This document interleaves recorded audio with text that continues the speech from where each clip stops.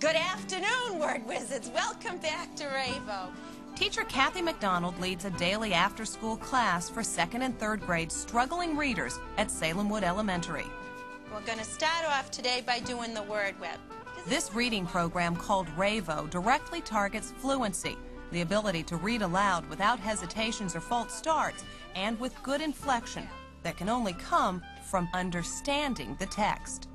The RAVE-O program was the direct outgrowth of our understanding that at least two-thirds of the children were actually not receiving any emphasis at all on fluency. So the RAVE-O program was really specifically designed to have the children not only be able to decode, but decode rapidly and with comprehension.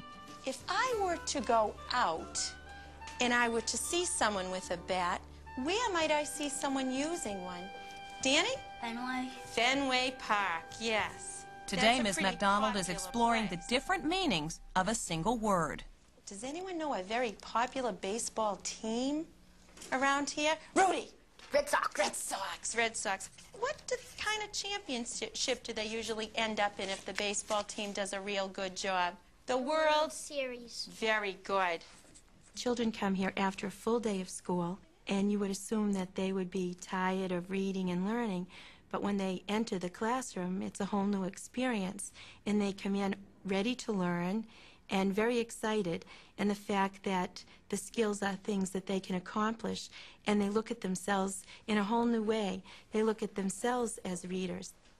Organized around one core word a week, a tool called a word web makes multiple meanings easy to grasp. Kids expand the web by adding words or phrases with related meanings. Let's move on now to this kind of a bat. Casey, A fruit bat. a fruit bat. And where does a fruit bat go, Casey? Where would you find it?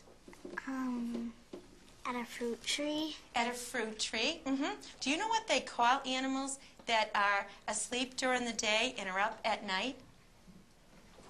Give it a try. Go ahead. Nocturnal animal. You are correct. Nocturnal animals. Excellent. A rich knowledge of words helps build fluency. Fluency is one piece of the entire process. The more rapid you are, the more time you can actually allocate to understanding what you've read.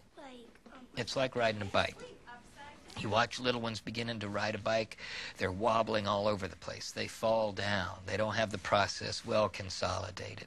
But as we go along as kids and we begin to practice and practice and practice riding a bike, we don't even think about pedaling anymore until it gets hard.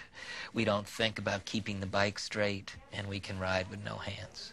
RAVE-O combines vocabulary building exercises like the word web with lessons specifically designed to speed up decoding. These two ingredients are the key to any good fluency program. And sure enough, this after school program has produced big gains in fluency. Okay, now, boys and girls, look at all the words we came up with from one little word bat.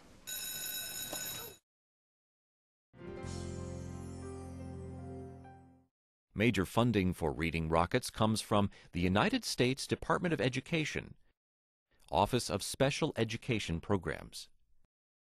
For author interviews, recommended reading lists, and information about teaching kids to read, please visit us online at www.readingrockets.org.